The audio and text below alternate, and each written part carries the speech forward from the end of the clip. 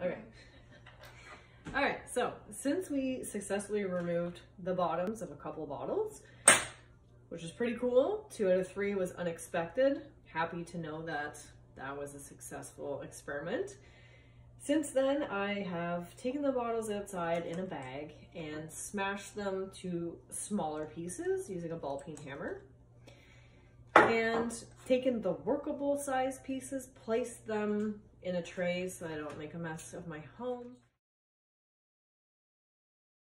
And um, anything that was not used, you can use uh, for next time for uh, a tumble experiment. I don't want to overfill my tumbler because I want to make sure, I think, I've never done this, but I think um, not overfilling the tumbler is going to help in the success of making sea glass. We'll see. We'll see. Uh, anything that you didn't use, you can always save for later. I don't recommend using the same bag. This bag is completely trashed. It has holes everywhere because of all the broken pieces of glass. So keep that separately in another container for another time. Have your pieces of glass. Now, uh, what I'm gonna do, put my glass in the tumbler, um, add some grit, which I just picked up at the local dollar store. Um, you can see it here. It's just, just grit, like small rocks. So that will help kind of break down and score and scratch up the glass while it's tumbling. I'm also gonna add shells. So maybe I'll add a couple of like normal small sized shell because that, that's what you normally would find on the beach when you find real sea glass. But I also took some bigger shells and smashed them to make them more scratchy and hopefully will help the success of this sea glass experiment.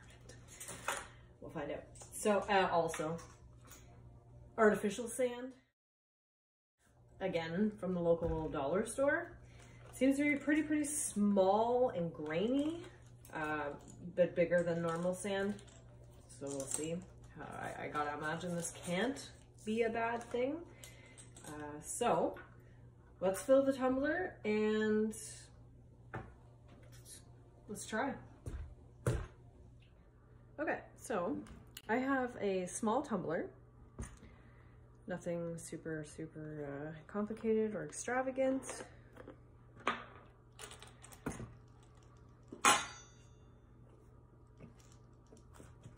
All right.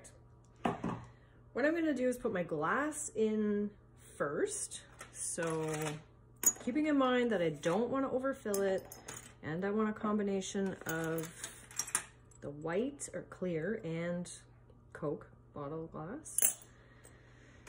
I kind of do a combination. I also want to include my bottoms that we experimented with and got loose. I think that would make a beautiful, maybe too big of a pendant, but we'll try. All right, so that's probably pushing it. Uh, I don't want to overfill it. Ah, it's so hard. I want to put them all in there. All right, one more. Okay, so now that we have our glass in here, let's add our shells. Just like that. And let's add some, let's give it a little shake. Let that stuff settle a little bit. Okay, put it in. Thanks. Okay, and we're gonna add grits. Well, this grit kind of varies in size from mm, small to tiny. We're gonna add that in. Keeping in mind, I wanna keep room for it all to grind together. And to shake it. Couple more. All right, so let's top it up with sand. Blue sand. I don't really know you could call that sand, but here we go. Get it in the cracks. All right. Okay, now we also need water because at the beach there is water and it basically is just gonna tumble like this for, well, we're probably gonna set it for seven days at the highest speed for my machine, which is three. I think we're just gonna fill it till it touches the top of our materials, roughly. Yeah, probably just like that. Okay, so that should be good. I'm gonna put the lid back on securely. Mm. Okay, yep. Push her down. On.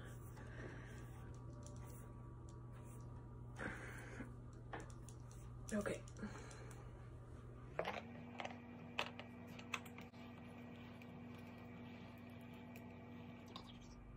Okay, so we have our tumbler loaded and like I said, we're gonna put it on the tumbler for roughly seven days. We're gonna take a peek at it. I'm pretty impatient, so I'm hoping that there's gonna be something cool to look at at the end of seven days at the highest speed. Okay, good luck. All right, see you in seven days. Okay, so it's been seven days and we are going to open this up and see what our sea glass looks like since we prepared it and put it into the tumbler seven days ago.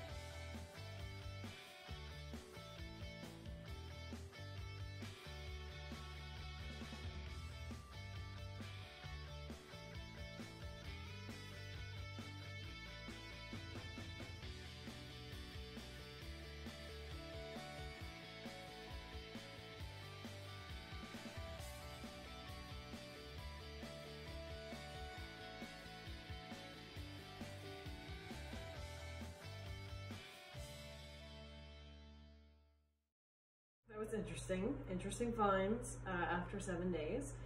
The glass uh, ultimately is smooth.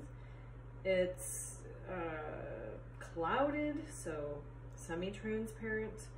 Um, probably better than I was actually expecting. So successful, in my opinion. A lot of the pieces, actually none of the pieces appear to be sharp anymore. I don't have a single piece that is sharp to the touch. So everything is successfully smoothed down. Um, is it ready is the question. And that's a good question. I suppose if you're happy with it as it is, you could use it for your project. If you're not happy with it, and I'm not certain that I am, what to do with it next? So that's up for everyone to decide what do you want to do? Are you happy with your, your project, with the outcome of your project?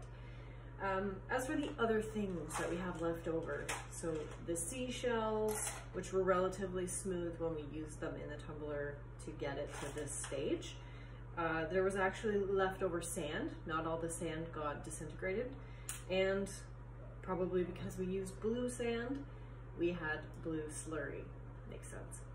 Um, the other little grit, the, the little rocks, the small to tiny rocks, uh, it appears I have still both small and tiny rocks left over.